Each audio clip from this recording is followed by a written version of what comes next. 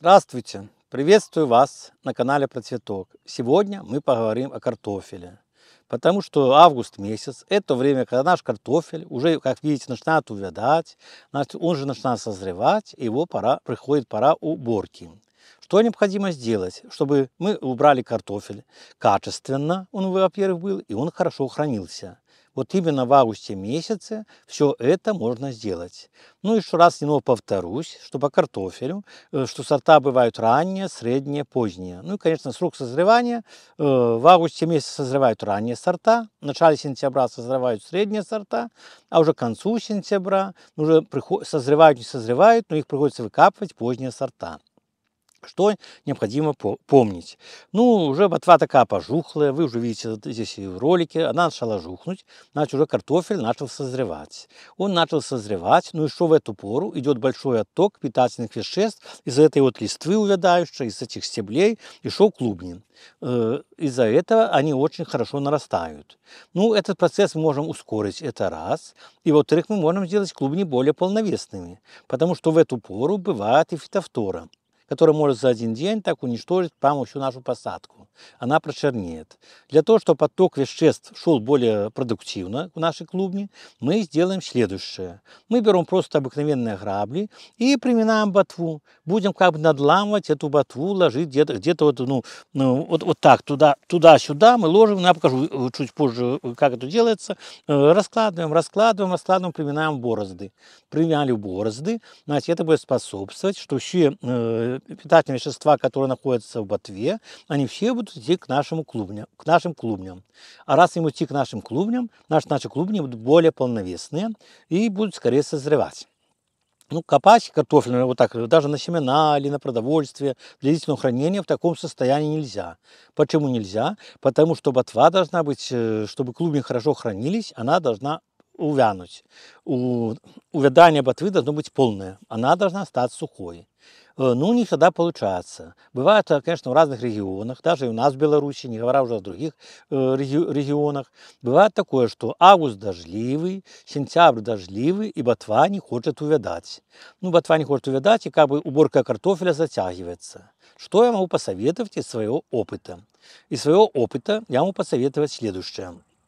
Если она не хочет увядать, э, Э, сама по себе, то есть э, ну, физиологически, значит мы ее заставим. Заставить увядать ботву картофеля можно двумя путями.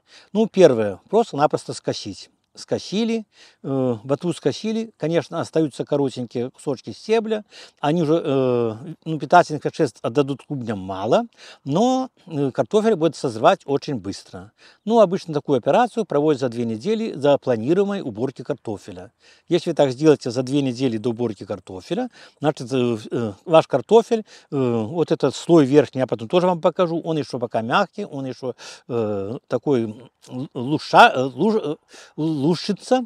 Э, значит, э, если вы сделаете э, скашивание ботвы, он опробковеет, станет твердым, и картофель будет хорошо храниться. Ну, это такой как бы тяжелый путь, потому что косить это тоже не так это легко приминать легче.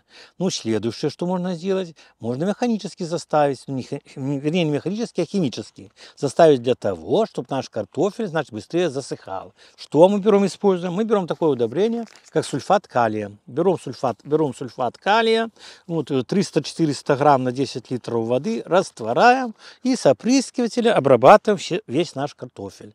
Через два дня буквально он весь почернеет. Он почернеет, но это не фитофтора, это просто ожог от удобрения. Калий, значит, на качество клубней не влияет. Они даже после такой обработки становятся даже качеством гораздо лучше, более крахмалистыми. Э, э, после сульфата калия через неделю ваш картофель сохнет прямо на глазах. Через неделю сухой, его уже можно убирать. Но и опять же, это не все. Если ваш картофель высох, но ну, не забывайте, что он же подвергался в течение сезона э, различным болезням. Фитофтора та же самая, ризоктония. Они как бы вот сидят и пока дремлют, чтобы напасть на наш картофель. Особенно, когда дождливая погода. Поэтому эти все болезни, они начнут как бы заходить туда в клубни повреждать наши клубни. Давайте будем защищать урожай. Защитить урожай очень просто. После того, как картофель ваш подсох, где-то за 2-3 дня до уборки обработайте ваши посадки картофеля триходермой профит. 100 мл на 10 литров воды и прошли обильно-обильно, побрызгали. э, Вот. Ну, стараться, конечно, брызгать не верхи, а стараться брызгать ближе к надземную часть. Надземная часть картофеля, гребни брызгать, вот именно там находится вся инфекция. Триходерма профит за 2-3 дня, значит, она эту самую инфекцию почистит. Почистит эту инфекцию, и ваши клубни не будут заболевшими, и во время хранения они не будут больше загнивать. Так что возьмите это также на, на вооружение. Ну, а сроки оптимальной уборки. Оптимальные уборки картофеля начинаются у нас в условиях Центральной Белоруссии 25 августа. Конечно, есть регионы где-то, ну, конечно, не- это не Белоруссия, это где-то более северные регионы России. Там уборка начинается, может быть, и раньше. И уже 15 августа, и 10 августа. Поэтому там что необходимо сделать? Там необходимо картофель заставить, для того, чтобы он как бы скорее дозрел. Как, чтобы он дозрел, я уже вам рассказал. Как ускорить, я вам тоже рассказал, как ускорить картофель э, для созревания. Ну, а дальше, если вы сделаете так, как я вам говорил, то есть или механическим путем сделать пригибание ботвы, или химическим путем обработка сульфатом калия ваших посадок, ну и дальше опрыскивание препаратом трихо- триходермой профит, значит, вы соберете э, хороший, здоровый урожай картофеля, который будет хорошо храниться до следующего урожая. Вот. Не поленитесь сделать эту работу сейчас. У вас будет меньше проблем осенью и зимой, э, и весной по переборке картофеля. У вас весь картофель будет качественный и будет храниться очень хорошо. Если мои советы были вам полезны, значит ставьте лайки, подписывайтесь на наш канал про цветок и посещайте наши магазины. До свидания.